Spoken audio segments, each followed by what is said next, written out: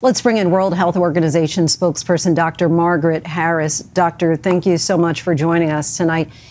Tell us, if you would, about the situation facing the Palestinian people right now, specifically people in hospitals there. Well, the hospital system, as Dr. Tedros, our Director General, said, is really on its knees. Most hospitals have closed. We've got 60% at least not, you know, closed their doors, not able to function of the 15 remaining hospitals, they're under massive strain. They can only provide really limited emergency services. They've got shortages of water, food, and of course, fuel. And they are trying also to look after huge numbers of displaced people sheltering in them.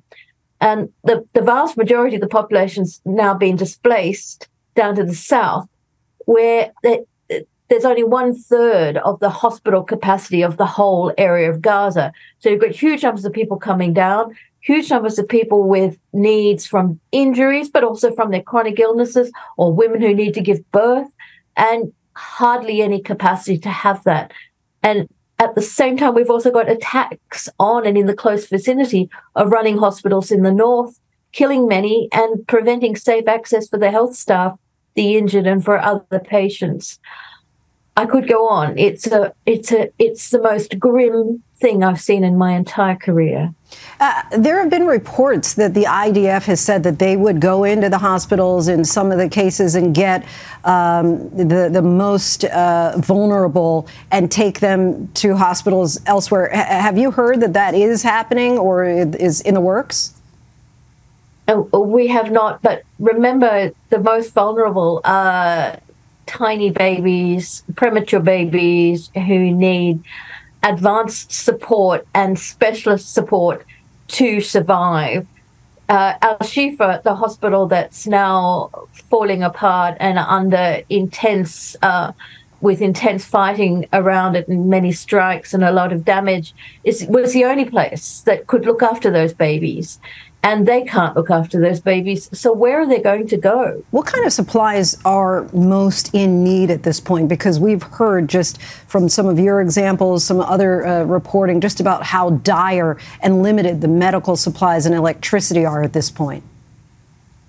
Well, of course, they need fuel for the generators just to keep the electricity going, to keep all the machinery going, to keep the lights on, so that when you're trying to operate on somebody who's got terrible injuries, you can actually see what you're doing. At the moment, you've seen the pictures of surgeons. It's it's heroic stuff, but it's also impossible to be trying to operate via lights from from your phone. Um, clean water. For instance, Al Shifa, their water tanks on their roof were destroyed, so they've got no clean water. Uh, how can you keep infection, do any kind of infection prevention? You know, how can you keep wounds clean if you don't have clean water? How can you even clean out all the awful injuries you know, that, uh, and how can you prevent infection? And of course, food. Remember, again, thousands of people are sheltering in these hospitals and they're starving. So, very basic things are desperately needed. And, Dr. Harris, you've said in previous interviews this humanitarian crisis doesn't compare to anything World Health Organization has responded to before. Talk about why that is.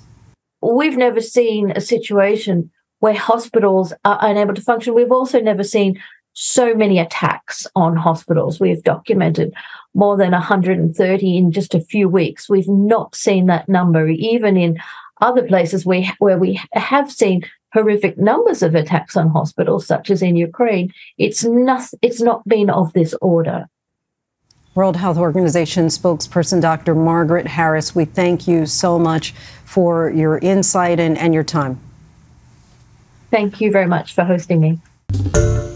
Hi, everyone. George Stephanopoulos here. Thanks for checking out the ABC News YouTube channel. If you'd like to get more videos, show highlights, and watch live event coverage, click on the right over here to subscribe to our channel. And don't forget to download the ABC News app for breaking news alerts. Thanks for watching.